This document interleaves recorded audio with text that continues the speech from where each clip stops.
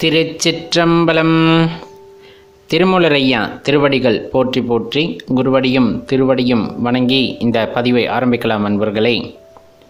நம்ம வைத்திருக்கின்ற பக்தி அப்படிங்கிறது பார்த்திங்க அப்படின்னா ரொம்ப சுத்தமானது. நம்மை பொறுத்தவரை நாம் மனதில் வைத்திருக்கின்ற பக்தி இறைவன் மீது வைத்திருக்கின்ற பக்தி அப்படிங்கிறது அளவிட முடியாதது.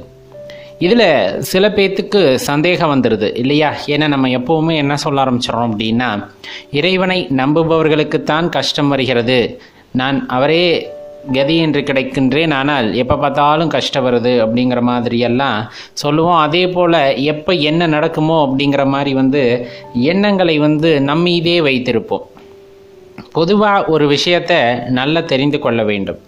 இப்போ ஒரு திருவிழா கூட்டத்துக்கு போகிறோம் திருவிழா கூட்டத்தில் போகும்போது அப்பா கூட வர்றாங்க அம்மா கூட வர்றாங்க அப்படின்னா அவங்க கையை பிடிச்சிக்கிட்டு போகிறோம் அப்படிங்கும் போது நமக்கு கொஞ்சம் பயமாக தான் இருக்கும். ஏன்னா விட்டுட்டா என்ன ஆகுது அப்படிங்கிற அந்த பயமானது எப்போவுமே இருந்துக்கிட்டு இருக்கும்.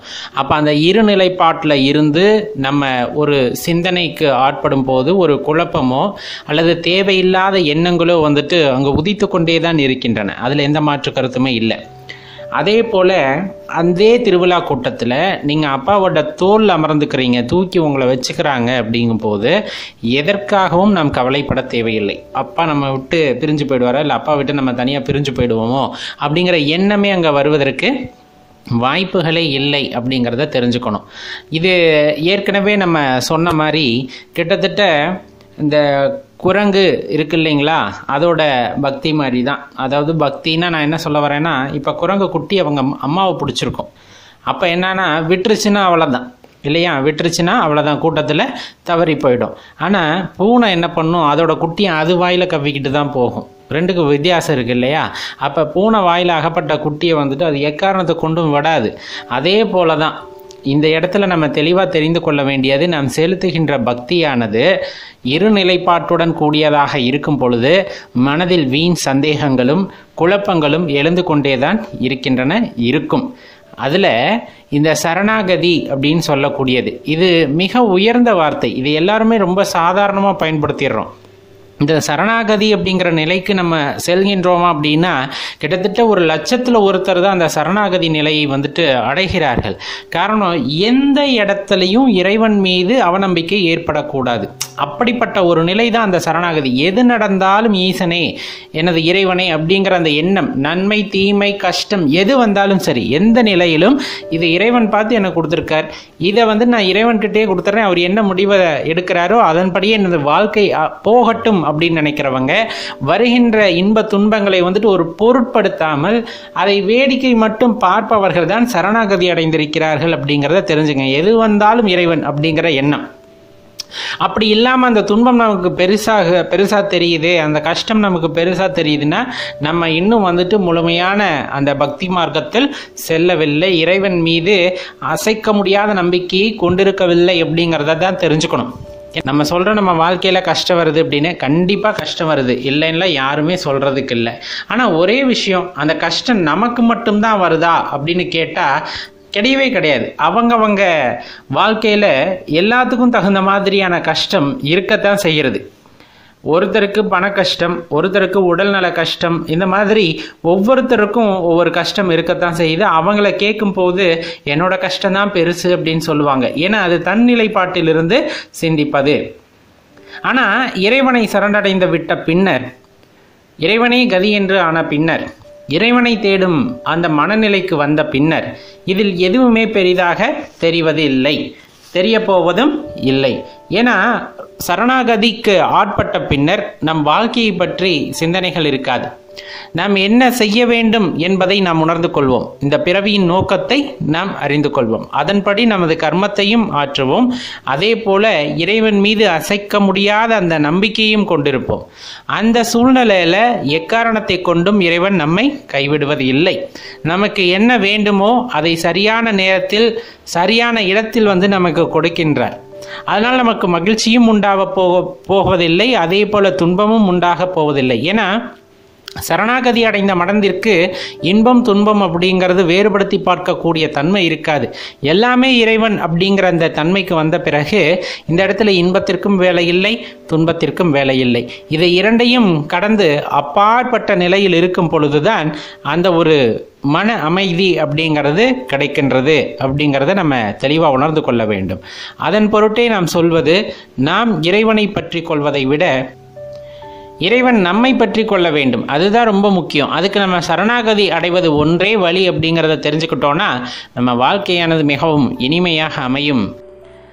பக்தி அப்படிங்கிறது எல்லோருமே ஒரே போல வைப்பதற்கு இல்லை. ஒரு சிலர் ரொம்ப ஆழ்ந்த பக்தியாக இருக்கும்.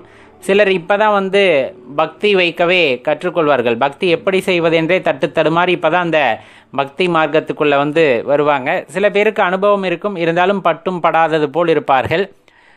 இப்போ சிவபெருமான் மீது கொண்டுள்ள அன்பு அப்படிங்கிறது எல்லாத்துக்குமே வந்து ஒரு தீராத காதலாக இருக்கும். அதில் எந்த மாற்று கருத்தும் இல்லை. ஆனால் ஒரு சிலருக்கு நம்ம என்னதான் வழிபட்டாலும் என்னோட மனது வந்து முழுமையாக அதில் ஈடுபட மாட்டேங்குது. கொஞ்சம் சலனமாக தான் நான் இருக்கேன் அப்படிங்கிறத என்னால் உணர்ந்துக்க முடியுது. இதிலிருந்து மாறி நான் வரணும் அப்படின்னு நினைக்கிறேன் அப்படிங்கிறவங்க கண்டிப்பாக ஒரு விஷயத்தை தெளிவாக தெரிந்து கொள்ள வேண்டும் நண்பர்களே. இப்போ எல்லா விஷயமும் எடுத்ததுமே நம்மளுக்கு ஆ, கைவரப்பெறாது அப்படியே வந்தாலும் அதில் சில தவறுகள் இருக்கத்தான் செய்யும். இப்போ ஒரு குழந்தை இந்த பூமியில் அவதரிக்கிறது அல்லது பிறக்கிறது அப்படிங்கும்போது கண்டிப்பாக தாயோட மடியில் தான் அது கொஞ்ச நாள் வாழ்ந்தாகணும் வளர்ந்தாகணும். அதுக்கப்புறமா குப்பரி கடிக்க ஆரம்பிக்கும். குப்பரி கடிச்சதுமே நாலு காலில் நடக்க ஆரம்பிக்கும். நாலு காலில் நடக்க ஆரம்பிச்சதுமே கொஞ்சம் நல்ல பயிற்சி பெற்றதுக்கப்புறமா ரெண்டு காலில் எந்திரிச்சு நிற்க ஆரம்பிக்கும். ரெண்டு காலில் நிற்க ஆரம்பிச்சதுமே தத்தி தடுமாறி நடக்கிறதுக்கு முயற்சி செய்யும் போது கீழே விழுந்து மேலே எழுந்து அது மாதிரி நடக்க ஆரம்பிக்கும். ஒரு காலகட்டத்தில் கீழே விழாமல் நடக்க ஆரம்பிக்கும் அதுக்கப்புறம் ஓட ஆரம்பிக்கும். உங்களுக்கு நல்லா தெரியும் நம்மளோட பருவமுமே அப்படி தான் இருந்திருக்கும். அதில் எந்த மாற்று கருத்துமே இல்லை. எடுத்ததுமே ஒரு குழந்தை வந்து நடக்க ஆரம்பித்து விட்டது அப்படிங்கும் போது ரொம்ப சிரமமான விஷயம். ஆனால் மற்ற உயிரினங்களில் இது வந்து சாத்தியம். ஆனால் மனிதர்களில் அப்படி கிடையாது. இப்போ இதை ஒரு போராட்டம் அப்படின்னு கருதுவதா? இல்லை பயிற்சி அப்படின்னு கருதுவதா? இப்போ என்னால் எடுத்ததுமே நடக்க முடியல அப்படிங்கிறதுனால மனசை விட்டுற முடியாது இல்லையா அந்த குழந்தையானது ஒரு பக்குவ நிலையை அடைந்த பிறகு கை கால்கள் எல்லாம் நல்ல உறுதியான பின்பு அது முறையாக நடைப்பயிற்சியை கற்றுக்கொண்டு நடக்க ஆரம்பிக்கிறது பின்பு ஓட ஆரம்பிக்கின்றது. அதே போல தான் இந்த பக்தி அப்படிங்கிறதும் ஆரம்ப காலகட்டத்தில் சில தடுமாற்றங்கள் இருக்கலாம். ஏன்னா நம்மளுக்கு சொல்லி தருவாங்க இல்லைங்களா? இந்த பக்தி செய்கிறது அப்படிங்கிறது இயல்பாகவே ஒருத்தருக்குள்ளே இருக்குது அப்படிங்கும்போது அது ஒரு மாதிரி இருக்கும். இல்லை பக்தி செய்வது எப்படின்னு ஒருத்தர் நமக்கு நமக்கு சொல்லித்தர்றாங்க அப்படிங்கும்போது அது அது வேறு விதமாக இருக்கும். அவ்வாறு நம்ம அவர்கள் சொல்லி தந்ததை கடைபிடிக்கும் பொழுது இதில் எதுவும் தவறு வந்துவிடுமோ சிவபெருமான் கோவித்துக் கொள்வாரோ? அப்படிங்கிற மாதிரி எந்த எண்ணமும் மனதில் கொண் கொண்டு இருக்காதீர்கள். காரணம் சிவபெருமான் வந்து எல்லாருக்குமே அப்பா போன்றவர். அவர் வந்து சிருஷ்டிகர்த்தா. நம்ம செய்கிற சிறு சிறு தவறுகளையும் அவர் வந்து ஒரு பொருட்டாகவே கருதுவதில்லை. ஏன்னா ஒரு குழந்தை தவறு செய்யும் போது அதை பெருசாக நம்ம எடுத்துக்கிறது இல்லை அதே போல் நம் செய்வது தவறு சரி என்பதெல்லாம் அவர் பார்வைக்கு கிடையாது. நீங்கள் வைக்கின்ற அந்த அன்பு அந்த பாசம் மட்டுமே முக்கியம். அப்போ பக்தி செலுத்த ஆரம்பிக்கின்றோம் அப்படிங்கும் போது உங்களோட பக்தி அந்த இடத்துல ரொம்ப முக்கியமே தவிர அதில் இருக்கக்கூடிய சரியான விஷயங்கள் அதாவது தவறு நிகழ்ந்து விட்டது இந்த மாதிரி எண்ணங்கள் எப்பொழுதுமே உங்கள் மனதில் இருக்கக்கூடாது. ரொம்ப முக்கியம். எல்லாமே சரியாக தான் செய்கிறேனா நான் காலையில் எந்திரிச்சு பூஜை செய்கிறேன் மத்தியானம் பூஜை செய்கிறேன் நாலு வேலையும் வந்துட்டு நாலு காலையில் ஆறு காலை பூஜை செய்கிறேன் ஆனாலும் என் மனது வந்து ஒன்றிவிடவில்லை அப்படின்னா நம்ம ஏற்கனவே சொன்னதை ஞாபகம் வச்சுக்கோங்க. படிப்படியான நிலையில் தான் நம் பக்தியில் வந்துட்டு ஒரு உயரிய நிலையை அடைய முடியும். ஏன்னா எடுத்ததுமே கைவேறப்பெற்று விட்டது என்றால் அதன் மதிப்பு வந்து யாருக்குமே தெரிவதில்லை.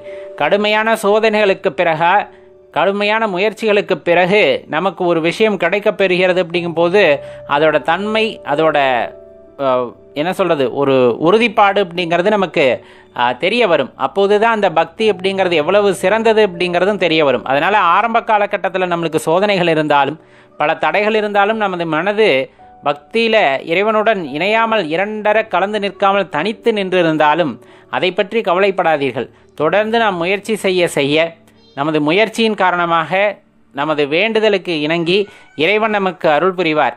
அதன் பொருட்டே நம் இரண்டர கலந்து நின்று அவருடன் அவராக நின்று நம்மால் வழிபட முடியும் என்ற நம்பிக்கையில் பக்தியை தொடர்ந்து செலுத்த வேண்டும் அப்படிங்கிறத மனதில் ஏற்றிக்கொள்ளுங்கள் நண்பர்களே. கண்டிப்பாக உங்களுக்கு சரியான வழியை இறைவன் காட்டுவார். அந்த வழியில் பயணிக்கும் பொழுது சரியான இடத்தையும் உங்களால் அடைய முடியும் அப்படிங்கிறத மனதில் நிறுத்தி பக்தி செலுத்த ஆரம்பியுங்கள். எல்லாமே நலமாக அமையும். நம சிவாயன்